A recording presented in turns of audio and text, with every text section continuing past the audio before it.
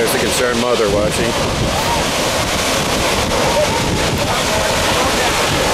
What kind of mother are you?